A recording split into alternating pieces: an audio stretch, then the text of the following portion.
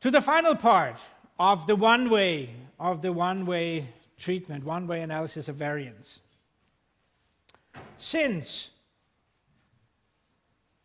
now that you've found that the three gravitation constants G for the three materials are different, you're not quite ready for the Nobel Prize yet, actually. Because if you find out that three things are different and you run up to your, the managing director of your company or your university, I think I'm going to have the Nobel this year. I found out that the gravitation constants are different. Then uh, I am pretty sure, if not your manager in your research institution, then at least your manager out there in your industry, in your company, will ask you, Yeah, that's fine, you found out that three different things are different. But can you tell me the story of those three different things? Which is largest? Which one is different from which one?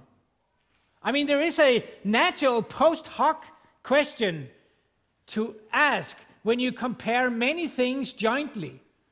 Then, of course, I, I, do, I do claim uh, in the outset that it's interesting, also scientifically interesting, and practically inter- interesting in the business to be able to make this test of comparing everything in, in one shot, like I did before. Three things in one shot. However, it doesn't remove that it still is interesting to ask more specific questions following the overall question. And you would have to summarize the story about what's going on. You could, for instance, have a post hoc hypothesis. That could be something like Are two specific means equal to each other, for instance? Or if I'm going to estimate the differences between the means to say that, that the gold uh, is uh, so much higher than the platinum or smaller or whatever it is. If I'm going to estimate those things by the averages, of course, it could be nice to put confidence intervals on those estimates, exactly like we did some weeks ago when I only had two groups or one group. It can be done. It's called post hoc comparisons when we are in the multi group or analysis of variance ANOVA framework. Here's the formula for a post hoc confidence interval. Look at this formula and compare it maybe earlier. Earlier, we had, uh, for instance, a formula saying this was chapter 7. We would have a formula saying almost the same but there was a P in the formula, like this, for the pooled variance across two groups. This was the this is the two group expression that we were taught back in chapter 7. This is almost the same formula. And if you sort of, the only thing that you might be a bit uncertain about is this one, and you have to think about this one, because the s squared in our case is the mean squared error.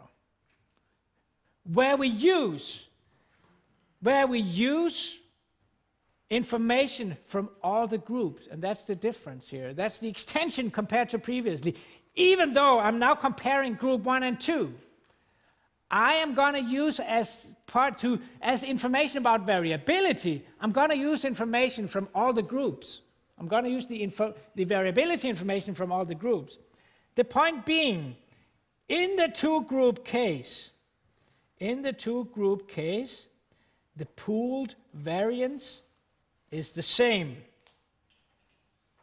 as MSE. So if we apply these analysis of variance techniques to a two group situation, which we can, we simply get the same thing as before. Or basically, what does the same thing? It means that the, a pooled t test is actually equal to the I should do like this, sorry for all the boxes. The, the square of the t-test is exactly the f-test, and the p-value is not only approximately the same, it's exactly the same. It's just to say that things, uh, sort of things match here. So we can do post hoc hypothesis testing, or we can do post hoc confidence intervals. I'm going to let you practice that on your own.